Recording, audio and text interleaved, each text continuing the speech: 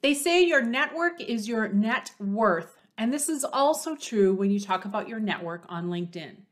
And as the hospitality industry has changed and evolved over the past couple of years, our LinkedIn networks have never been more important.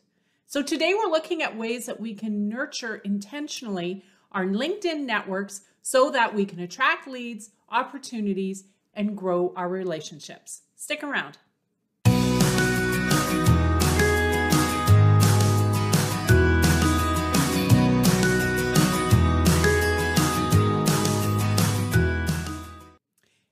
Everyone, it's Leanne, and networking is one of the best ways to grow and build trust with partners and friends in the meetings and events industry. And when COVID threw a wrench in our networking plans, we were no longer allowed to get together in person. LinkedIn became a great playing ground for us to grow, find, and nurture new relationships. In today's video, we're going to explore how to find those people on LinkedIn and then we're going to explore how best to connect with them and start growing those relationships. But before we look at these ideas, don't forget to subscribe to my YouTube channel and click on that little bell to be notified of new content. I have new videos around LinkedIn and personal branding coming at you every week, and I don't want you to miss a thing. Let's start by looking at the different ways on LinkedIn that we can find these new relationships. The first and most obvious is using LinkedIn's search bar at the top of your homepage. Using the search bar, you can search by keyword, job title, maybe even the specific person's name or their organization's name, or perhaps even by using a hashtag. Once you've gone through that initial search, you can then drill down further using the advanced search functions to find individuals that meet your needs. Don't forget, when using the search function, to include some of those Boolean search hacks we've all learned. Use Boolean search terms such as and, or, and not, and of course those operators in brackets to narrow your search even further.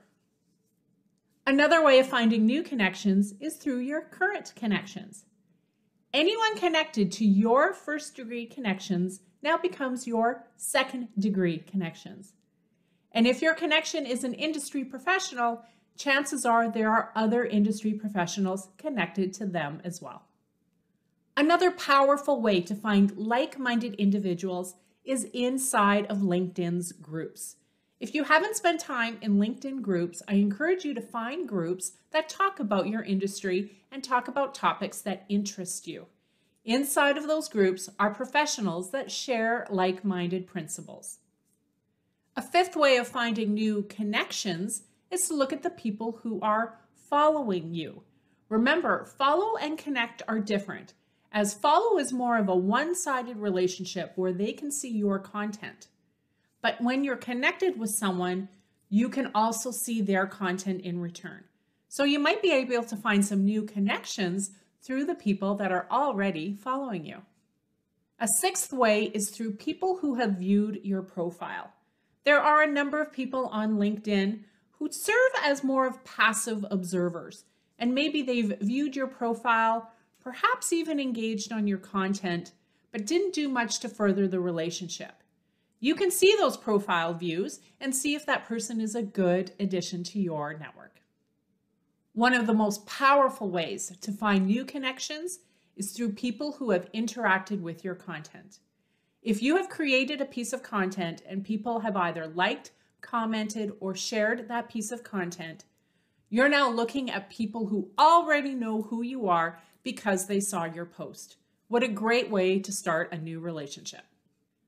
And the final way is through industry lists. Regardless of what your industry you're in, including hospitality, our publications and memberships usually post lists. It could be a top 40 under 40 list. It could be an upcoming speaker list for an upcoming event. All of these industry professionals are thought leaders and people really making a difference in the industry. These are connections that you can reach out to and invite into your network.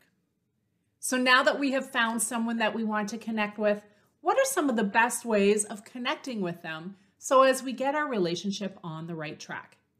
First and foremost, when extending an invitation, make sure it's a personalized invitation.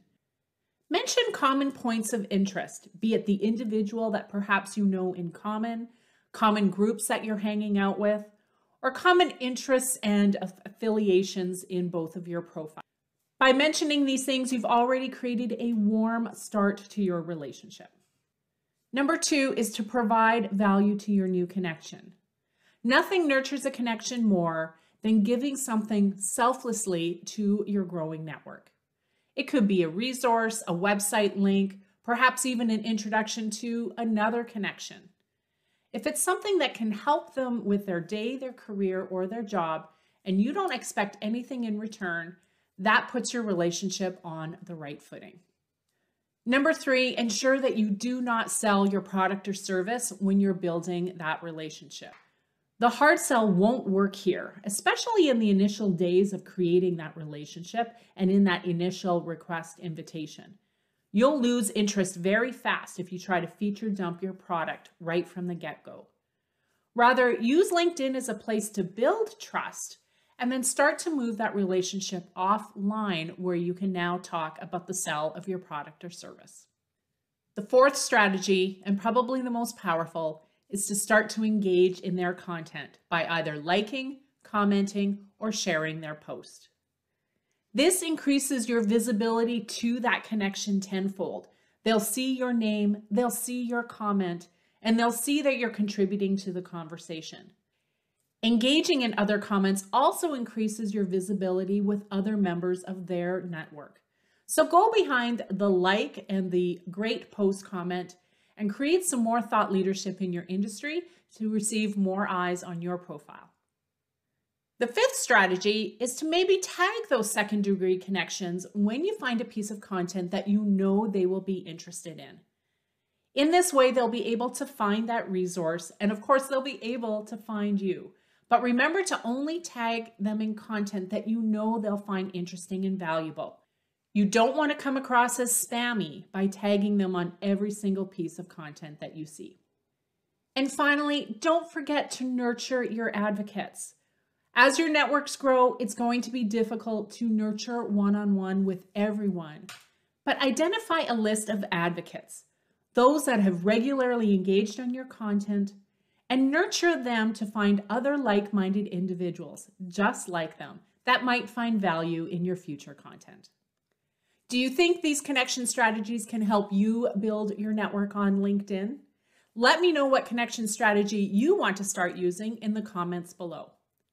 And if you're looking for some low hanging fruit and the ways that you can use LinkedIn to level up your LinkedIn game fast, join me for my upcoming webinar, where we explore three things that you can do today to level up your LinkedIn game. Head on over to leannecalderwood.com forward slash masterclass to save your webinar seat. And my friend, if you and I have not connected yet on LinkedIn, I encourage you to do so. Drop me a personalized invitation referencing this video and start practicing your LinkedIn connection skills. Thanks for watching today's video and we'll see you next time. Bye for now.